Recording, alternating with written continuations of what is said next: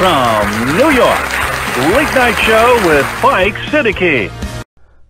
असलकम and welcome to the show साहिबों मैंने अभी एक बहुत शगुफ्ता तहरीर पढ़ी बड़ी फ़नी तहरीर बड़ा मज़ा आया उसको पढ़ने के बाद आ, वो नून लीग से मुतास, आ, मुतासर होकर किसी ने लिखी थी कि एक नून लीगी नौजवान अपनी गर्लफ्रेंड के फादर के पास शादी के सिलसिले में गया और लड़की का हाथ मांगा तो लड़की के बाप ने उससे पूछा, तुम कितने पैसे कमा लेते हो महीने में? तो वो बोलने लगा, जी, तीस हज़ार रुपये तो लड़की के फादर ने बड़े तकबर से कहा, और मैं पच्चीस हज़ार रुपये हर महीने अपनी बेटी को जेब खर्चा देता हूँ। तो लड़का बोला, जी, अंकल, वो मिला लिए हैं, मिला के बताए हैं।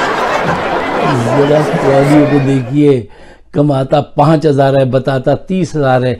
तो उन साहब को ज़रा पहले तो समझ में नहीं आई। फिर जब उन्हें ख्याल आया तो उन्होंने सोचा कि ये तो पच्चीस मेरी बेटी जो मैं देता हूँ, ये तो सिर्फ़ पाँच कमाता है। उनको बड़ा गुस्सा आया। उन्होंने नौकरों को आवाज़ दी।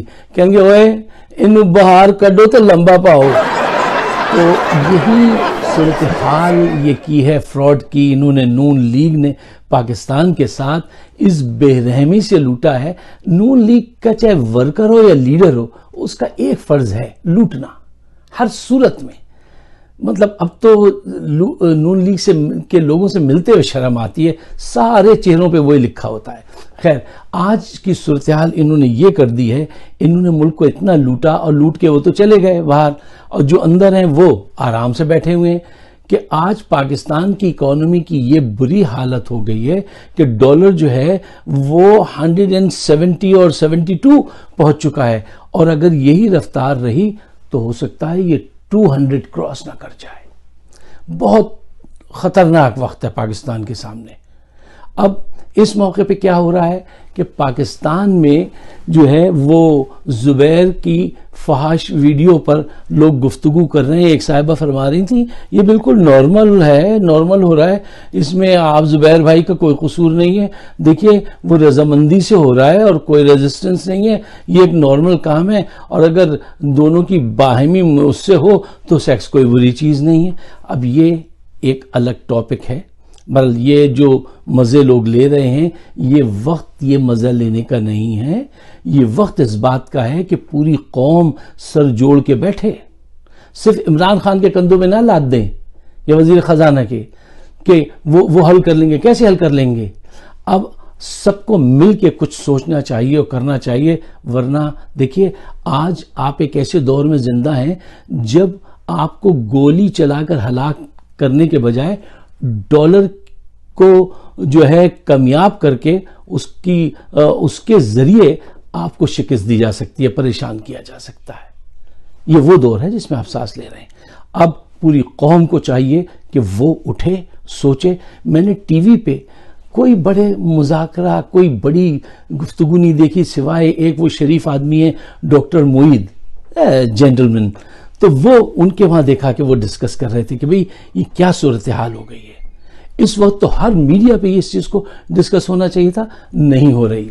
अच्छा अब आइए ज़रा सोचिए कि ये आ, हालात इस हद तक कैसे पहुँचे और इनको कैसे निपटा जाए। ये तो आपको पता है कि हालात इस वजह से पहुँचे कि सबने लूटा है। चाहे वो ब्यूरोक्रेट्स हो मीडिया हो जजेस हो पॉलिटिशियन सबसे ज़्यादा, ठीक है ना? इन सबने मिलकर लूटा है तो पाकिस्तान इस हालत को पहुँचा है और सबने पैसे बाहर निकाल दिए। और जो 425 या 400 प्लस की जो लिस्ट आई थी पानामा में, उसमें अभी तक एक से भी पैसे नहीं निकलवाए गए। ये बिल्कुल सही बातें हैं। कितने लोगों से पैसे निकलवाए, मुझे बताइए। किसी से भी नहीं। और वो क्यों नहीं निकलवा सके, इस पर भी हमें बात करनी चाहिए। इससे पहले कि हम उस तरफ़ जाएँ कि और गहराई में उतर के जायज़ा लें कि ये इससे कैसे निपटा जाए, दो चीज़ें अपने जहन में रखिए। देखिए, इस वक्त आपकी एक्सपोर्ट जो है वो चार पाँच बिलियन है। उससे ज़्यादा नहीं है। अच्छा आपकी इंपोर्ट जो है वो ग्यारह बिलियन के करीब है। जब इंपोर्ट ज़्यादा होगी एक्सपोर्ट कम होगी तो क्या होगा? एक तो ये वजह दूसरे आपके माफियाज हैं जो आपको चिपटे हुए हैं। आपका पड़ोसी है वो हर तरह से आपके मुल्क से डॉलर का कुछ ना कुछ अखराज करवाएगा और आपको मुसीबत में गिरफ़्तार करेगा। अब इस मौके पे आईएमएफ भी आँखें दिखा रहा है। और आईएमएफ क्या कह रहा है? आईएमएफ वो खतरनाक बातें कर रहा है कि जो हशर नशर कर देगा उस सोसाइटी में अगर उसका कह, कहा माना वो कह रहा है दाल ऑयल घी और चीनी, चावल, इन सारी चीज़ों पे सब्सिडरीज जो है वो ख़त्म करो। वो पहले कुछ हुकूमत खरीदती थी ना, किसानों से फिर सस्ते, उसमें बिकवा देती थी। तो वो ख़त्म करो तो महँगाई कहाँ जाएगी? तेल और गैस पे अलग प्राइसेस बढ़ाओ। वो तो आपको बेचैन करेंगे। वो तो आप, अब उसके बहुत सारे रीज़न हैं जो यहाँ मैं बयान नहीं कर सकता, आप समझ सकते हैं। देखिए हल क्या है?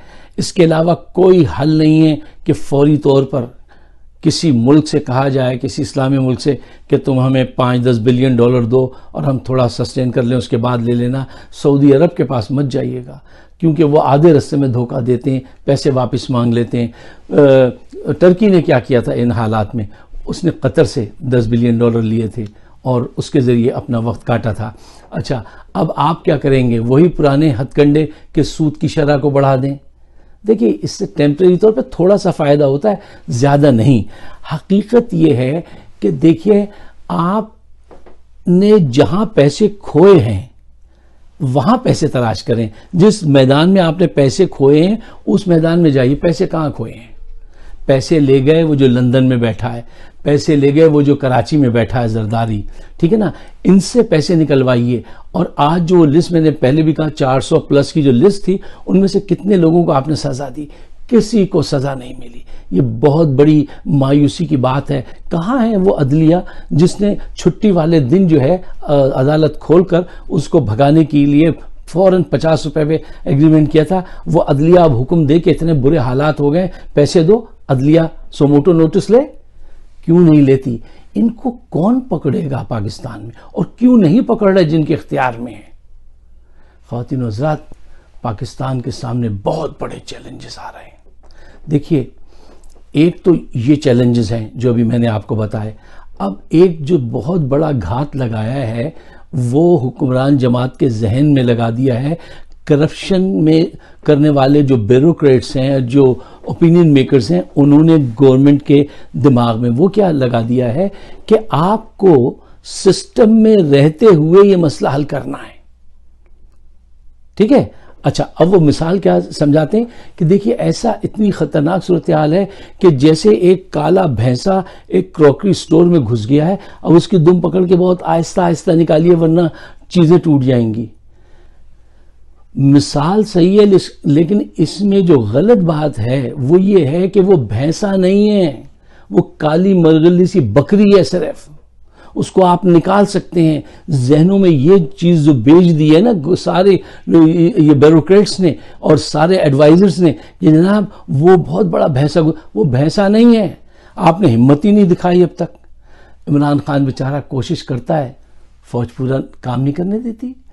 अदलिया पूरा काम नहीं करने देती, पकड़ती नहीं चोरों को, और डर डर के, डर डर के। देखिए, इस हालात में पहुँच गए डर डर के कि एक सौ बहत्तर रुपए का हो गया डॉलर।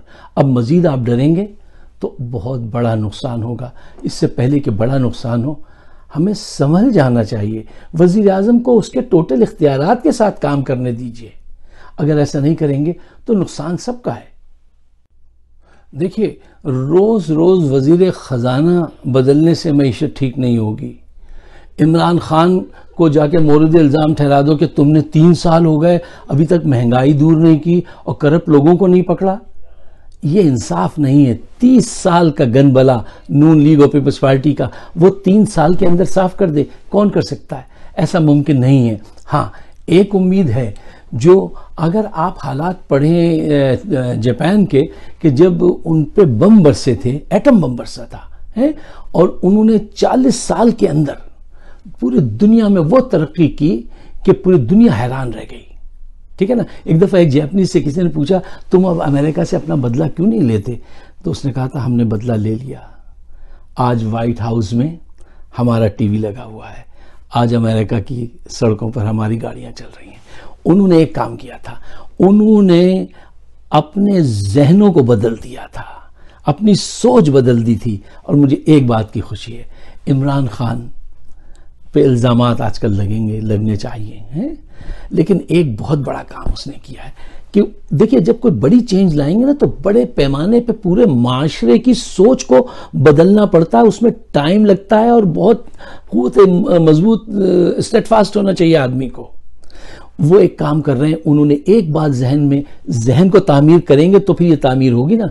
वो तामीर का एक काम किया है कि आवाम को करप्शन के खिलाफ कर दिया है कि पहले तो ये करप्शन काबिल कबूल हो गई थी ना, तीस साल में इन्होंने काबिल कबूल बना दी थी, उसको एलिमिनेट किया है।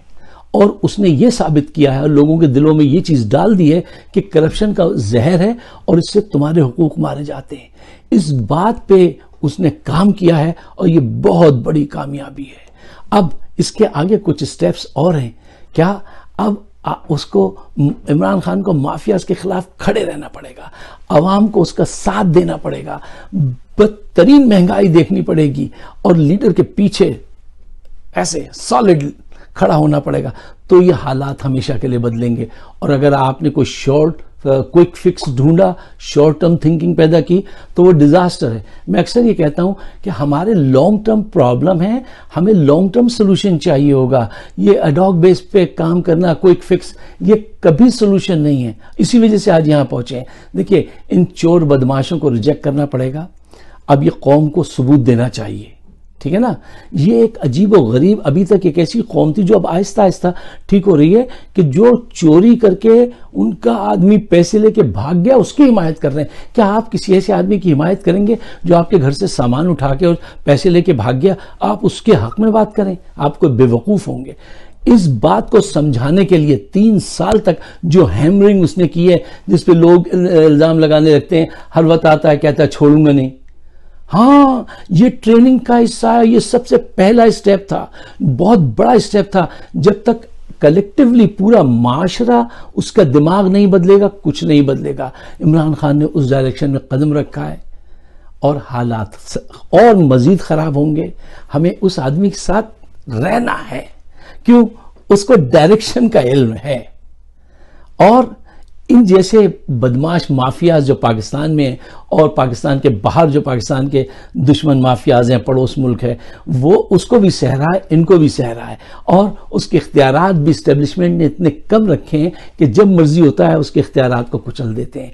तो ये इन हालात में उसका कौम को ले कर निकलना, ये बहुत बड़ी बात है। साथ रहिए, सोचिए, ये इमरजेंसी का वक्त है पाकिस्तान में। हर आदमी इस नहज पे आ जाए कि अब मैं डॉलर नहीं खरीदूँगा भाई। मुझे सेव करने की ज़रूरत नहीं है।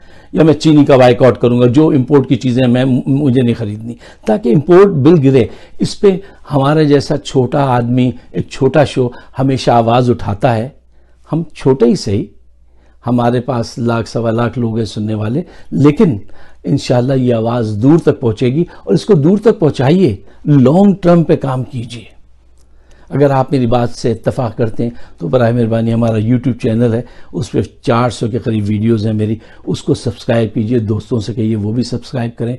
आप सबका बहुत बहुत शुक्रिया। इमरान खान को, पाकिस्तान को, मुझको, सबको अपनी दुआओं में शामिल कीजिए। आपका बहुत बहुत शुक्रिया।